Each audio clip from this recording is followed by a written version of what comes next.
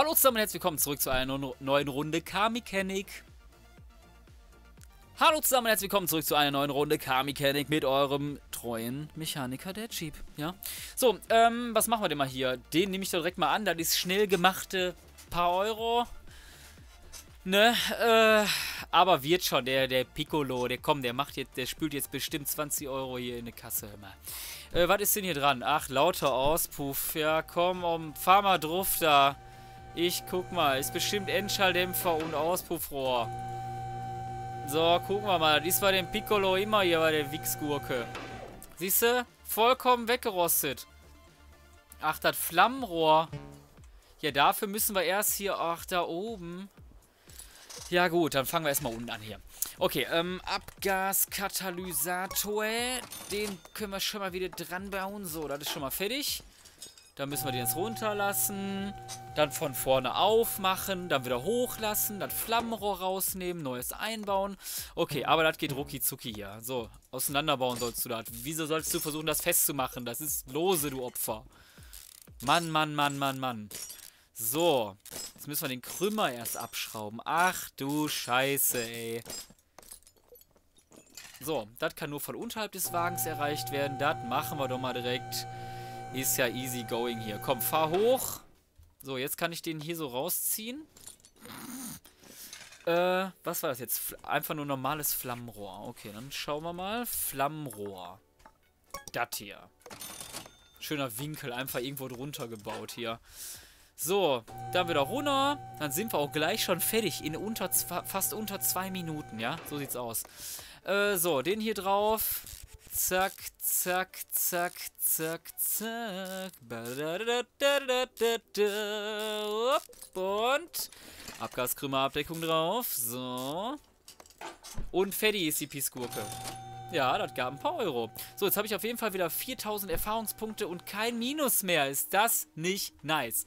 So, jetzt brauche ich nur noch 1000 Erfahrungen mehr und ein bisschen Kohle. Und deshalb schauen wir mal. Die Filter müssen ersetzt werden. Das kannst du selber machen, du Spacken, ey. Ähm, Auto ist laut, Routineüberprüfung und Reparatur des Getriebes. Was ist da noch dazugekommen? Oh, hier, einen dicken Hund. Den nehmen wir, den Salem Kimran. Jetzt behauptet er bestimmt, alles kap ist kaputt, nur damit ich irgendwie Filter wechsle. So, was ist der? Och, du Scheiße. Motor arbeitet unruhig, klopfende Geräusche im Motor, schwache Bremsleistung, äh, Getriebefehler, Karosserieteile, hintere Stoßstange, Hintertür rechts, linkes Rücklicht, vordere Stoßstange, lackiere das Auto mit der Standardfarbe. Ich brauche aber 5000 Erfahrungen, um das zu lackieren. Egal. Fangen wir erstmal an und bauen am besten den ganzen Motor auseinander. Weil wir wissen ja noch nicht, was alles kaputt ist, ne? So, Okay. Dann reißen wir hier erstmal alles raus. So macht man das. Okay. Das ballern wir weg hier. So. Ne, ach du Scheiße. Aber gut, wir machen das schon hier. Wir kriegen die Gurke schon wieder in Schuss. wenn ich hier schon von hier aus an den Stoßdämpfer und an den Kraftstofffilter und an alles gucke, da kriege ich schon die Kotze, ey. Hier, guck dir das mal an. Das Ding sieht hier vergammelt aus. Okay, aber 48% halt. Dann baue ich den mal wieder rein. So, jetzt nehmen wir erstmal das raus. Das Lagerdeckel ist eh im Arsch. Das Steuergehäuse geht noch nicht. Hier, das, der Lagerdeckel auch kaputt. Der Abgaskrümmer ist auch durch. Alter Vater, ey. So. Ja, Flammenrohr auch durch. Ja, alles durch. Anlasser durch. So. Lichtmaschine. Ne, kann ich noch nie abbauen. Okay, bauen wir erstmal das ab. Dann Ihmchen ab. Äh, Tragrolle ab. So, äh, Kurbelwellen-Riemenscheibe kaputt. Ja, hier kann man gar nicht sagen, woher das Geräusch kommt, weil einfach alles Fratze ist. Spacken, ey. Äh, 45%. Können wir uns mal eben kurz angucken. Hier alles. Das ist noch gut. Aber der ist schon rot. Ab wie viel? Ach, ab 40% aber. Okay, aber ich werde da trotzdem erstmal weiter zerlegen. Ne, denn ich muss mit Sicherheit noch hier überall dran. Ist bestimmt noch Pleuelstange im A, äh, Pleuel kaputt. Oder Kolben mit Pleuelstange, wie es hier heißt. So, next. Kraftstofffilter auch noch raus. Kurbelwelle raus. Zylinderkopf. An was hängt der denn hier so? Du Opfer. Woran hängt der? Ach, an den ganzen Dingern hier? Nee. Ach, an den Zündkerzen, die hier wieder an der Seite drin sind, die ich nicht sehe. Okay, raus, raus, raus, raus. Äh, ach, hier hinten ist jetzt wieder das scheiß, die scheiß Zündspule. Die muss auch noch ab. Und jetzt können wir doch den Kopf abmachen, ne? So, jetzt können wir den Zylinderkopf abmachen. So, vielleicht ist der ja auch schon kacke. Gibt auf jeden Fall genug Geld. So, der Motorblock. Aber jetzt baue ich, glaube ich, erstmal von unten weiter. Was ist das hier? Kühler Aufratze oder was? Der sieht so vergammelt aus, ey. Kühler Lüfter, Kühler. Okay, ne, der war noch gut. Stecken wir einfach wieder rein. Geht ja schnell dabei, ne? So, äh, dann lassen wir die Rotzkarre mal hoch. Hol uns hier den knallroten Heiko wieder, ne? Diesmal fängst du aber bitte, ja? Brüderlein. Ha! Äh, ah, meine Nase juckt gerade und ich muss, glaube ich, gleich niesen. Oh ja!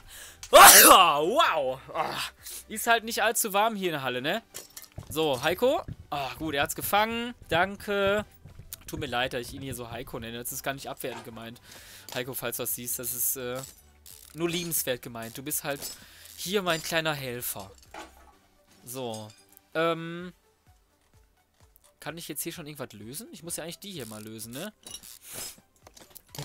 Die Kurbelwellen-Lagerdeckel. So, hier ist noch eine. So, den noch raus. So, und jetzt kann ich von oben die Pleuel entnehmen. Nicht? Weil da sehen nämlich auch welche Scheiße von aus. Ähm, und wie viel habe ich denn überhaupt schon mal gefunden? Ach, guck mal hier.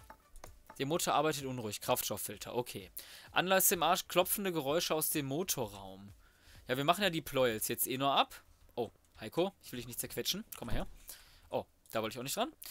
Okay. So, ich baue jetzt erstmal alles kaputte aus und versuche mal was zu reparieren. Weil ich habe ja auch genug Geld, dass ich das neu holen kann. Das ist ja dann nicht so das Problem, ne? So, Motorblock. Der soll doch raus. Und der soll doch raus. Die beiden sind durch, glaube ich. War das jetzt alles hier? Klopfende Geräusche im Motorraum? Das war immer nicht? Krass. Ja, sonst muss ich halt hier mal wirklich einmal alles ausbauen. Dann sehe ich ja, ob die kaputt sind oder nicht, die Teile, ne?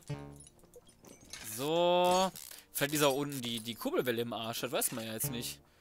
Äh, so. Dann lassen wir nochmal hoch. Nehmen die mal raus. Schade man nicht hier so aus Langeweile beim Hochlassen schon mal die Reifen abmachen kann. Das wäre toll. So. Äh, die Kurbelwelle, woran hängt die denn noch hier? Sehe ich gerade nicht. Habe ich einfach noch einen Pleuel drin gelassen? Ach klar, hängt noch am Getriebe hier. Muss ich ja auch noch dann, dann wegmachen, also. Äh, so. Dafür muss erstmal die hier raus. Hallo? Ach so, da hinten sind die... Ich habe das jetzt gerade gar nicht gesehen, dass er mir die Schrauben hier angezeigt hat. So, wenn das so weit weg ist, ist es halt irgendwie angenehmer zu schrauben. Dann bleibt man da so ein bisschen drauf. Das geht rucki zucki. Muss sie nicht so viel bewegen. So, und jetzt... Ach ja, klar, dann müssen jetzt die Räder sowieso ab. Weil ich ja die Antriebswelle rausnehmen muss, wenn ich das Getriebe rausnehmen will, wegen der Kurbelwelle. Dann gucken wir mal. So, hier haben wir schon mal einen kaputten Bremssattel. Bremsbelege, Auarsch. So, äh, muss ich den abmachen? Eigentlich muss ich ja nur das hier abmachen. Aber wenn ich einmal davor stehe, kann ich natürlich auch direkt rauskloppen. Obwohl die Zahnstange, muss ich die abmachen? Eigentlich nicht, ne? Getriebe kann ich doch schon rausmachen. So, okay. Getriebe ist raus. Ach, guck mal hier. Kupplungsdruckplatte, Arsch, oder? Schwungrad auch Arsch. Boah, da vorne ist ja, ist ja alles vergammelt. Du kriegst ja, ich kriege ja nur noch hier so richtig krasse Wichsbuden, ey. So, jetzt kann ich die auch nochmal rausnehmen und nochmal begutachten. Das Schwungrad 1%. Okay, Kurbelwelle. Oh, was? Da hatte ich noch eine von? Ach du Scheiße, ey. So, ähm, ich habe ja gesagt, ich will jetzt mal reparieren gehen gleich. Deshalb baue ich jetzt erstmal hier nochmal einmal alles auseinander, weil hier sah ja auch schon alles Katastrophe aus. Und dann versuchen wir mal die Sachen zu reparieren. Wenn ich sie kaputt mache, ja, dann habe ich halt Pech gehabt, ne? So, die Bremsbeläge sind in Ordnung. Das sieht doch weiterführend eigentlich ganz gut aus, ne? Guck mal, den Deckel gucken wir uns jetzt mal an. Ist der gut? Ja, der ist bei 43%. Okay, ähm... Hinten ist hier noch was scheiße? Ja, das sieht doch ganz so aus. Entschuldigung, ich musste mir mal kurz an die Nase greifen. Das juckt schon wieder so. Ich glaube, ich muss noch mal niesen. So, äh... Erstmal das hier runter. Ja, da ist doch die Bremsscheibe scheiße. Was hier schon für Schlieren drin sind, sieht man schon komplett. Okay, hier so, sieht sonst gut aus. So, bauen wir den mal ab. Ah, oh, meine Nase geht gerade so ein bisschen zu. Äh, okay, hier ist der Bremssattel scheiße. Weg. Belege scheiße. Bremsscheibe scheiße. Ah, und jetzt gucke ich nochmal eben, ob es das alles war. Ähm, repariere alle Getriebefehler. Kupplungsscheibe, Bremsbelege, Bremsscheibe. Alles gefunden, bis auf Motorprobleme. Immer noch nicht? Da mu muss doch. Ich habe doch schon alles rausgerobt. Da ist doch nichts mehr. Oder ist der komplette Motor im Arsch? Oh, ich habe es auf 49% repariert. Das habe ich kaputt gemacht. Das habe ich repariert. Das habe ich auch repariert. Das habe ich kaputt gemacht. Okay, ein paar Sachen habe ich repariert weiterhin. Ah. Ah. 70%? Oh. 100%, geil. 78? 100? 100? Jawoll. Jetzt habe ich aber auch mal ein bisschen Glück gehabt, ey. Geil. Jetzt habe ich schön viele Sachen repariert und dann kann ich die auch alle wieder einbauen. Ja, cool. Ähm, so. Aber ist denn am Öl? Ist hier Ölfilter vielleicht, vielleicht scheiße? Okay. Der gehörte auch noch dazu. Ölfilter und ein Ding fehlt jetzt noch. Das gibt's doch nicht. Was kann das hier noch sein? Ach nee, die hatte ich ja schon draußen. Kann ich jetzt den Motorblock rausnehmen, wa? Probiere ich jetzt mal aus. Also wenn ich den Motorblock raus habe, dann muss ich, dann, dann kann es ja nicht mehr viel sein. So. Okay, der ist raus. Kann ja fast nur noch das hier sein. So. Holen wir mal eben raus hier aus der Gurke. 45%. ABS-Pumpe. 49%. Wie, wie soll das denn jetzt bitte gehen? Ich habe doch gar keinen Motor mehr drin, dann kann doch nichts mehr kaputt sein. Oder ist vielleicht irgendwie noch was anderes hier? Vielleicht Luftfilter im äh, Scheiße oder so. Gucken wir mal. Weil viel was anderes kann es ja kaum noch sein. Tut mir leid, dass meine Nase so zu ist. So, mach den mal ab hier. Wie ist der denn? Ist der noch gut? Ja, der ist noch gut. Also. Oh, jetzt habe ich aber einen falschen reingetan anscheinend. Ne, ich habe nur einen. Hä, der Luftfilter war doch scheiße. Der hat mir doch gut angezeigt gerade unten. Äh, Luftfilter. So, das 11-Euro-Teil hier reingebraten. Dann kann der Motor wieder rein. Dann machen wir aber den Deckel erst. Ganz wichtig, den Luftfilterkasten. Weißt du, den reißt man immer als erstes raus und macht ihn als letztes wieder rein, so ungefähr.